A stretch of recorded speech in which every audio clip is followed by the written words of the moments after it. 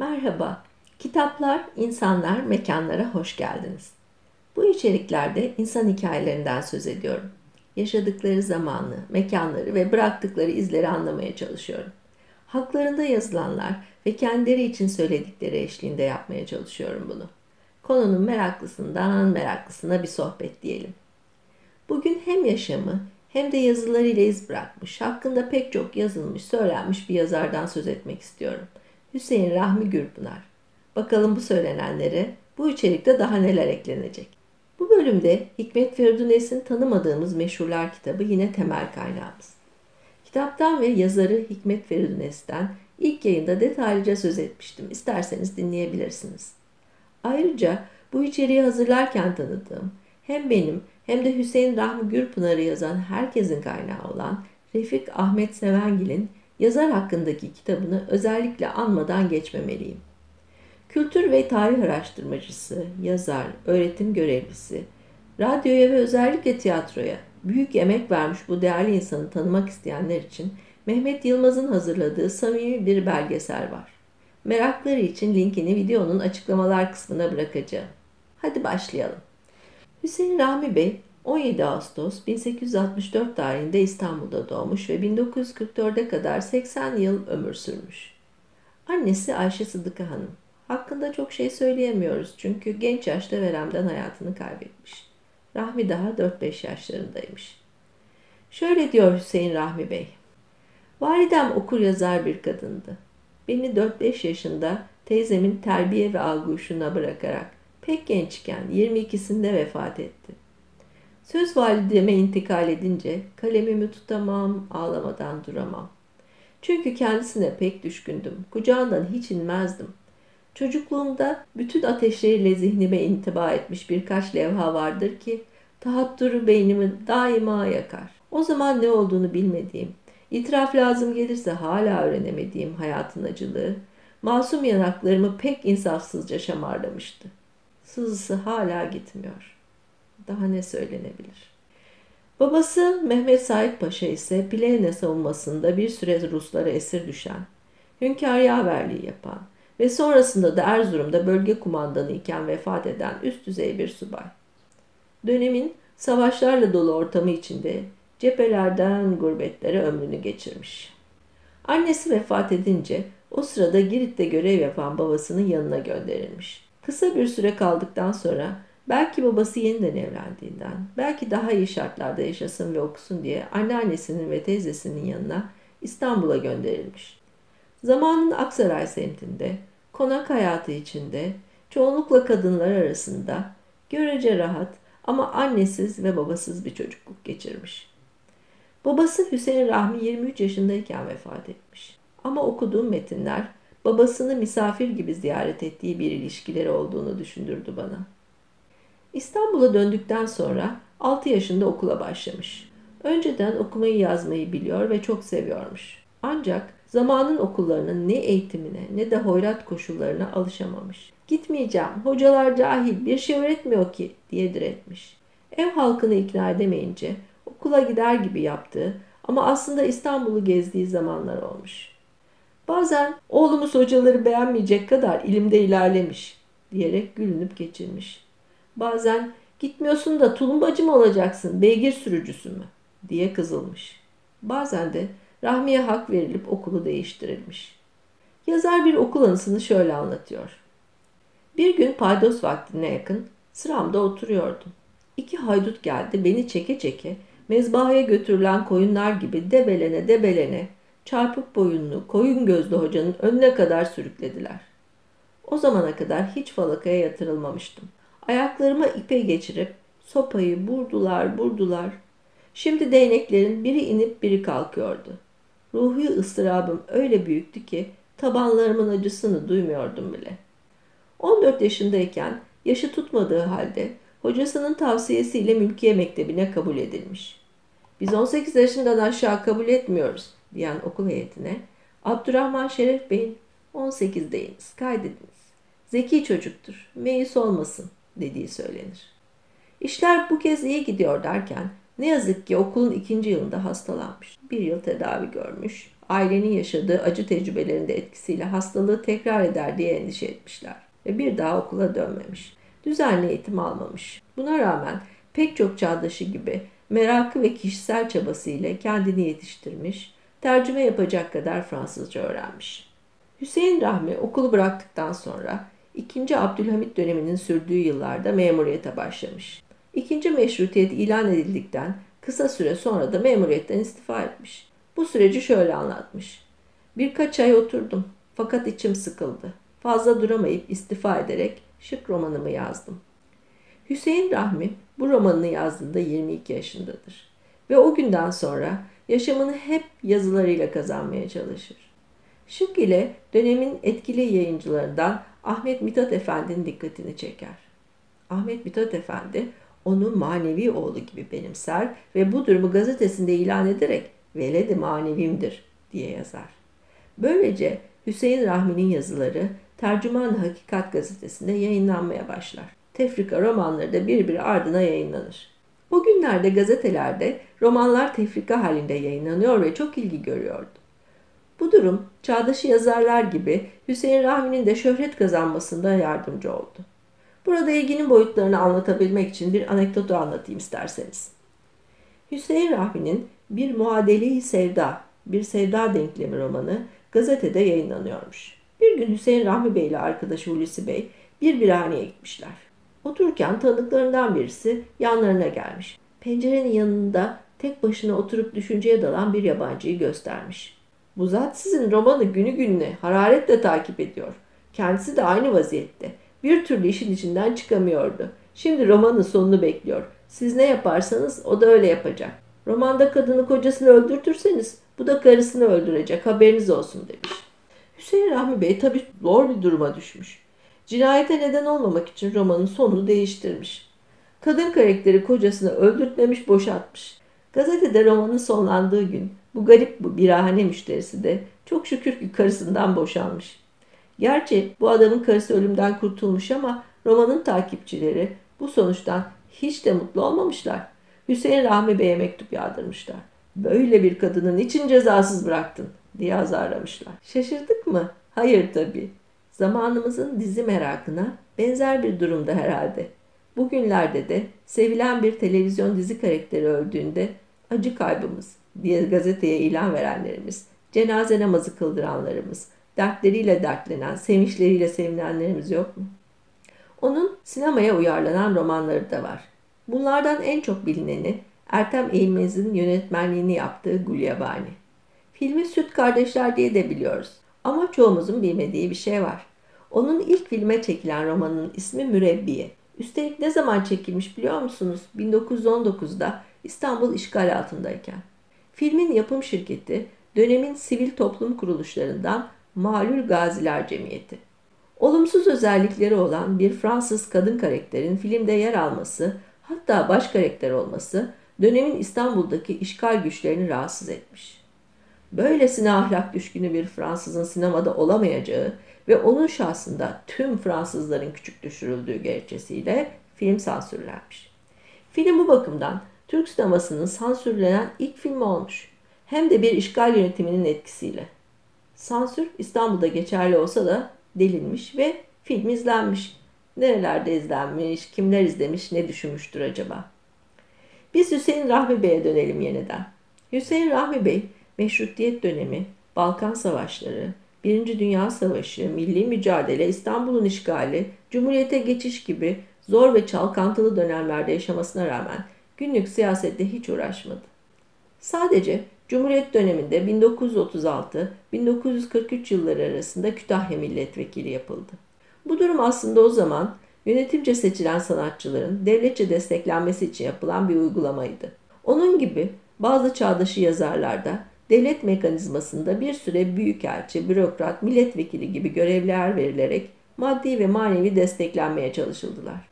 Örneğin Faruk Nafizi, Yahya Kemal'i, Tanpınar'ı ilk aklıma gelen isimler olarak sayabilirim. Tanıyanlar Hüseyin Rahmi'yi dışarıya karşı utangaç, çekingen, mütevazi, kibar bir insan olarak anlatırlar.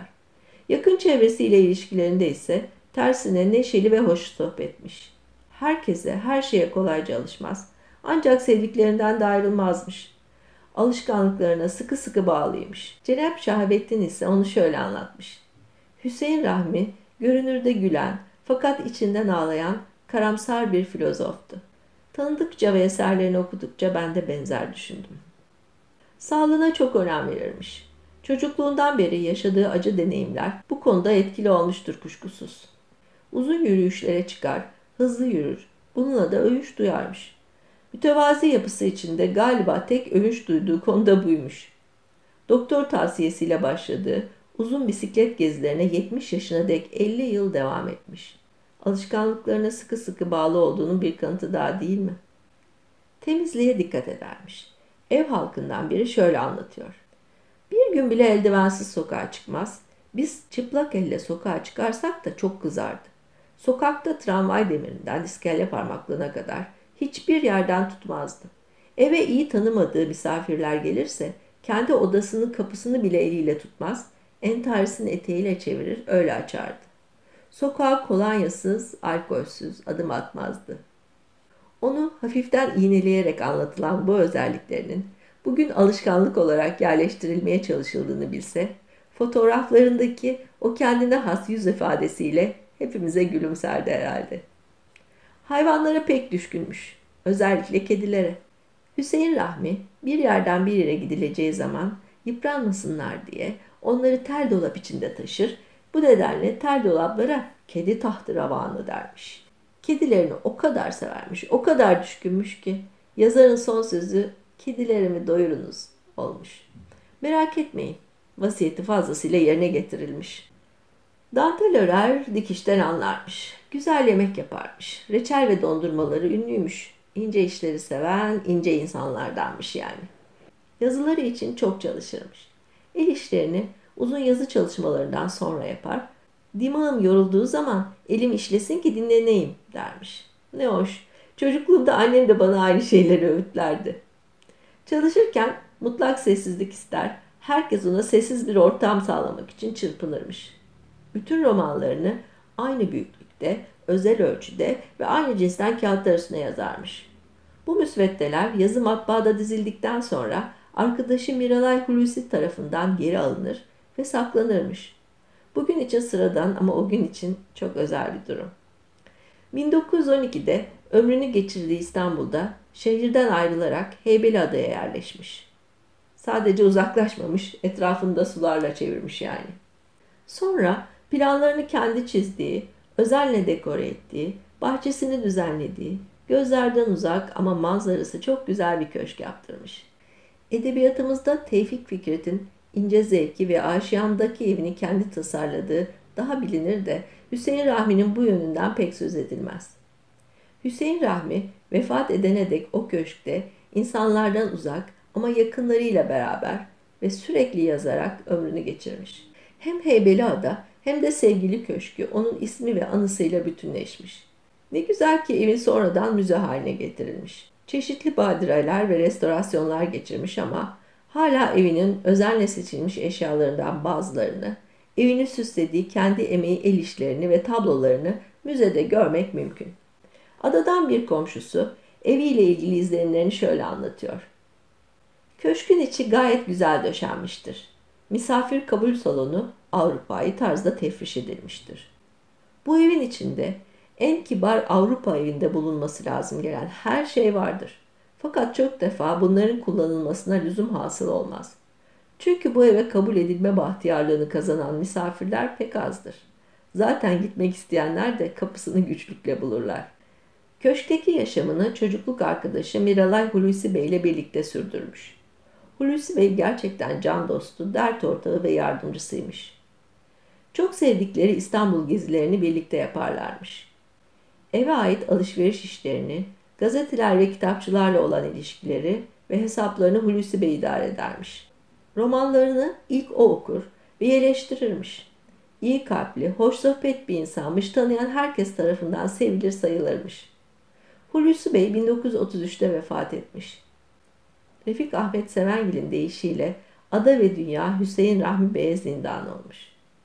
Hiç İstanbul'dan ayrılamayan Hüseyin Rahmi daha fazla duramamış ve o kışı geçirebilmek için Abbas Halim Paşa'nın daveti üzerine kalkıp Mısır'a gitmiş.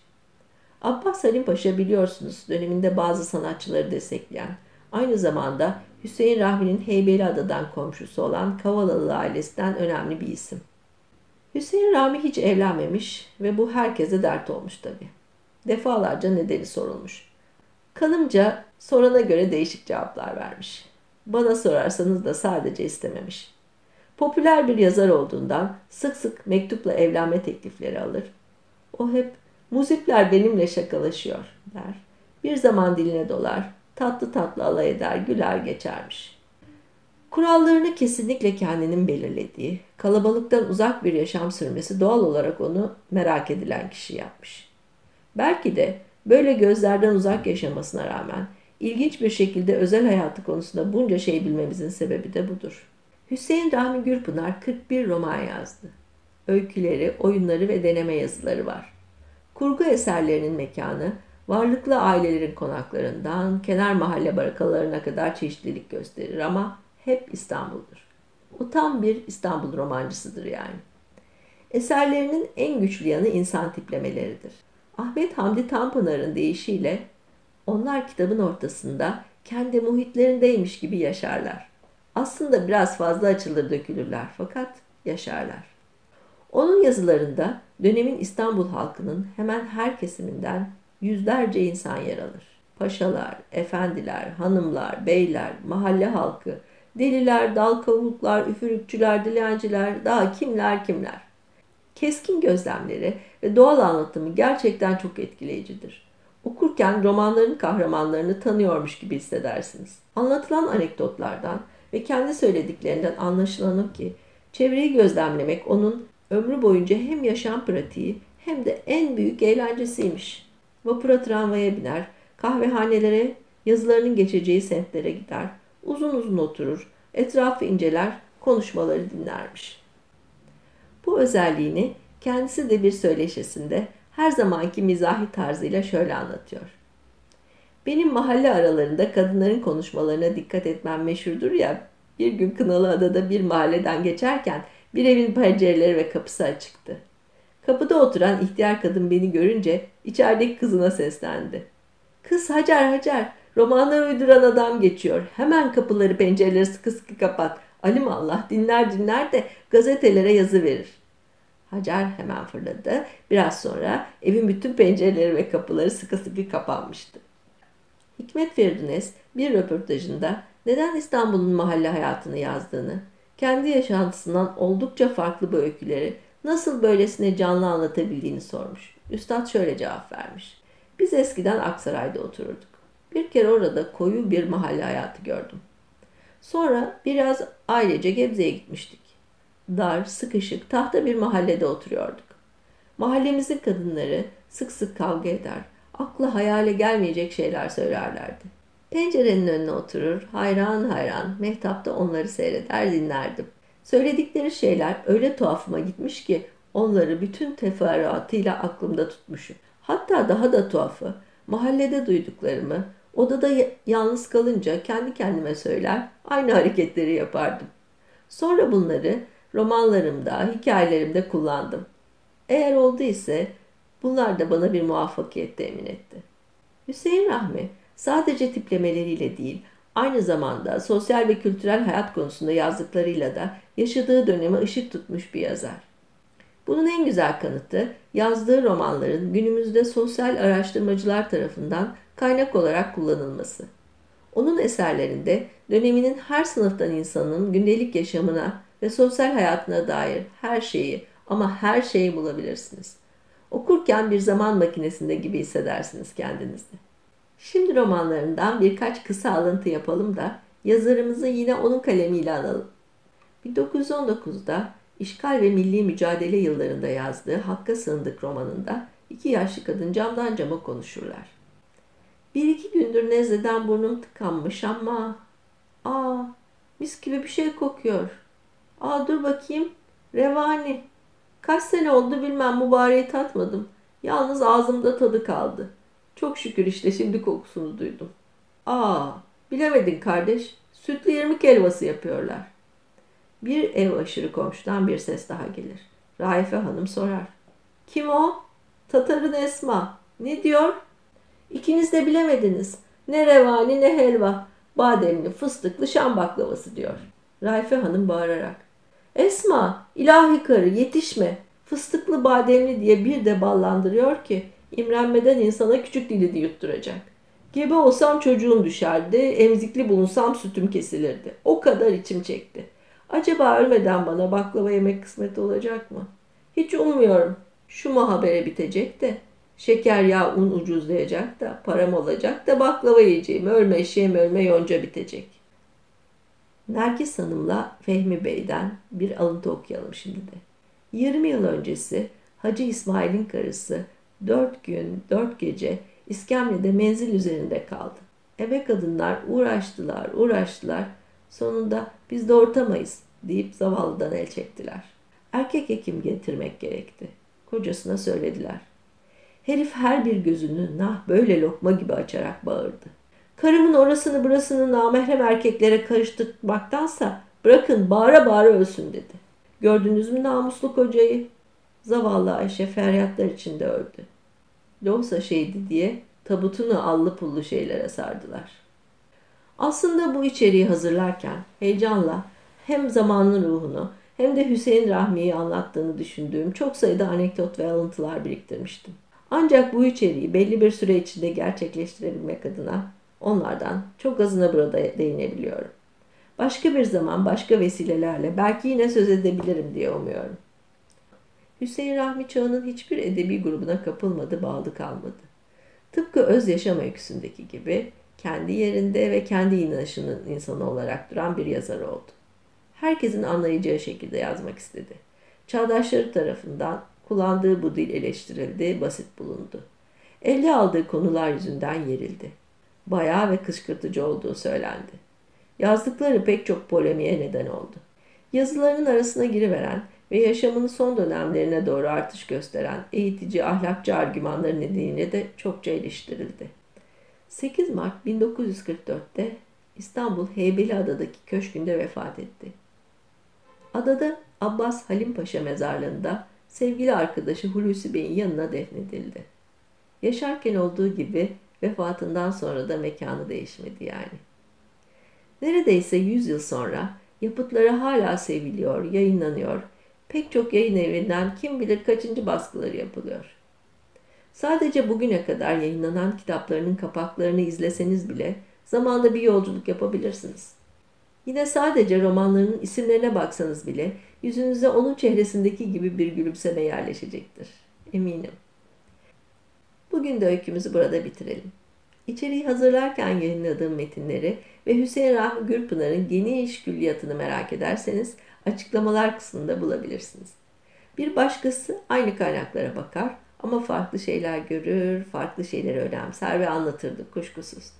Bir sonraki içerikte insana ait başka bir tarihsel öyküde görüşmek üzere, hoşçakalın.